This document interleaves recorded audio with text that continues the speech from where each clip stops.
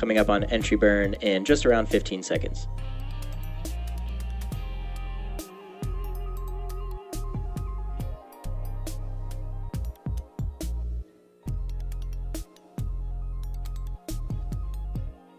Stage 1 entry burn startup. And there's that call out for stage 1 entry burn. Stage 1, which we also refer to as the booster, has now ignited three engines to slow it down for atmospheric reentry.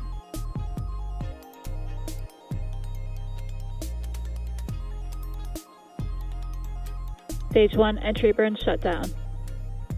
And there's the call out telling us that the entry burn on the first stage has completed.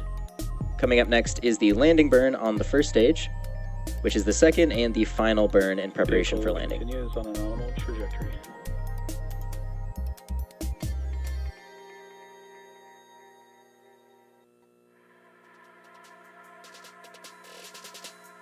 You can see the atmosphere is scrubbing off a lot of the first stage's velocity right now.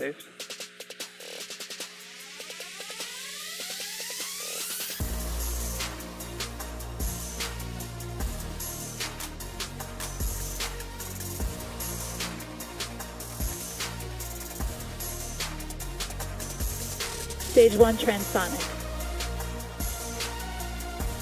There's the call out that stage one is transonic, which means it is traveling near the speed of sound. Coming up on the landing burn in the first stage in just around 20 seconds.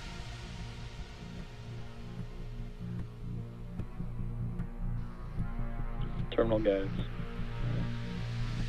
Stage 2, FTS test phase.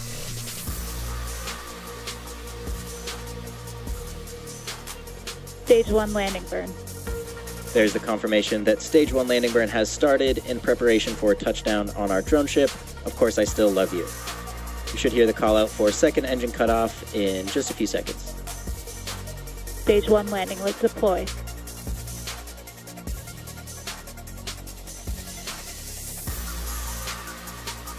Stage 1 landing confirmed. This Falcon 9 And first stage. shutdown. The Falcon 9 first stage has now successfully launched and landed for the 14th time. And just after landing, we did hear the call out for second engine cutoff one, and there's the call out for a nominal orbit insertion. Today's landing marks our 196th overall landing of an orbital class rocket, including Falcon 9 and Falcon Heavy missions. With the confirmation of successful first stage landing and second engine cutoff, that will wrap up our coverage for now. Be sure to check our social media for confirmation of Starlink deployment. Thank you all so much for watching, and we'll see you again soon. Subscribe to our YouTube channel and turn on the notification bell. Thanks for watching. Space Googlevesaire YouTube channel.